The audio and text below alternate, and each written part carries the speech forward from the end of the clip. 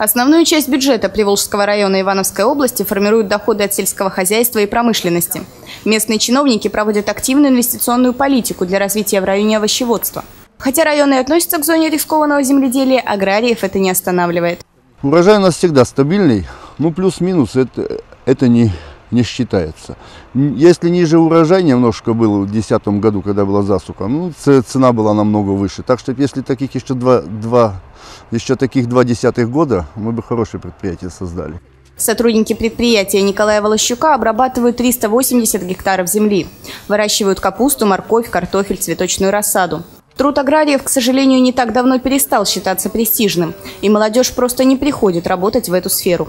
Проблема самая большая это с людьми, которые работают на технике. То есть специалистов, механизаторов в сельском хозяйстве сейчас нет. Это не престижно, никто не учится. А тот, кто говорит, что он тракторист, он умеет за руль держать. Последние годы вот стало какой-то не очень доброй традицией а, все время посыпать голову пеплом относительно развития сельского хозяйства и говорить о том, что на селе у нас все плохо. Но если взять просто обычную статистику, посмотреть э, уровень развития некоторых предприятий сегодня наших, притом не э, так уж мало этих предприятий, то мы видим, что очень многое зависит от руководителя предприятия. Дефицит молодых кадров испытывает и Приволжский ювелирный завод. На данный момент это крупнейшее предприятие муниципалитета и самый главный налогоплательщик. В развитии Приволжского района чиновники делают ставку не столько на промышленность или сельхозсферу, сколько на туризм и спорт.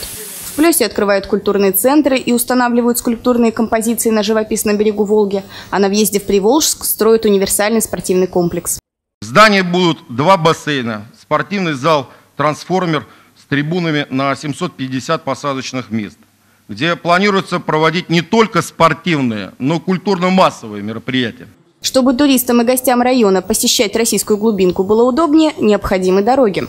На въезде в Плес строят новую развязку, а в Приволжске ремонтируют дорожное покрытие не совсем привычным способом. Берется э, сама старая дорога, убитая, так скажем, да, и э, снимается весь тот слой, который остался. Ну, не весь, но, но почти до подосновы. Э, перерабатывается э, тут же на месте. Добавляются соответствующие э, ингредиенты туда. Э, смесь добавляется. И добавляется еще туда цемент непосредственно вода, все это перемешивается и сразу закатывается дорога. Дорожные рабочие признаются, что такой способ дешевле асфальтирования на 20-30%. И сохраняться в приемлемом состоянии дорога может до 10 лет. Говорят, метод не новый. Похожим образом дороги укладывали лет 40 назад. Просто технология подзабылась. В 2012 году на капитальный ремонт автомобильных дорог и их содержание из местных областных бюджетов предусмотрено более 35 миллионов рублей. Чтобы сделать район инвестиционно привлекательным, соответствующий климат в нем должен быть довольно теплым. Населенные пункты газифицируют и обогревают. Взамен котельных, работающих на мазуте и угле, устанавливают блочно-модульные, работающие на природном газе. В Плесе строят и вводят в эксплуатацию пять таких котельных. В планах чиновников в дальнейшем заняться капитальным ремонтом теплосетей. Анастасия Николаева, Андрей Семиволков, РТВ Иванова.